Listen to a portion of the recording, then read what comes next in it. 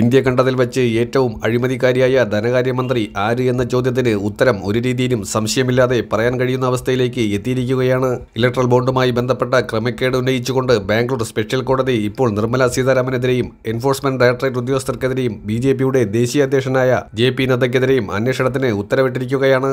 മാത്രമല്ല ഇതുമായി ബന്ധപ്പെട്ട് നിരവധിയായിട്ടുള്ള സങ്കീർണ പ്രശ്നങ്ങൾ ഉദിച്ചിരിക്കുകയാണ്.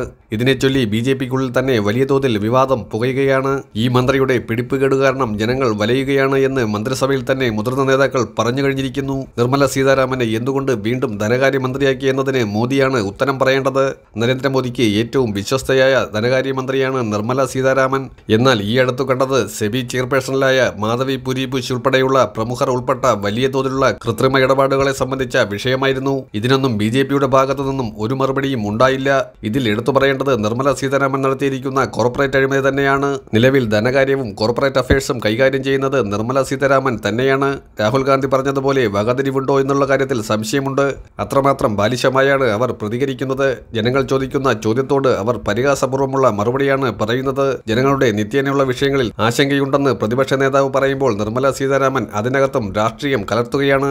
വാസ്തവത്തിൽ ഇന്ത്യൻ ധനകാര്യമന്ത്രി ചെറുകിട വ്യാപാരികളെ തകർക്കാൻ പല മുട്ടാതർക്കങ്ങളും ഉന്നയിക്കുന്നു.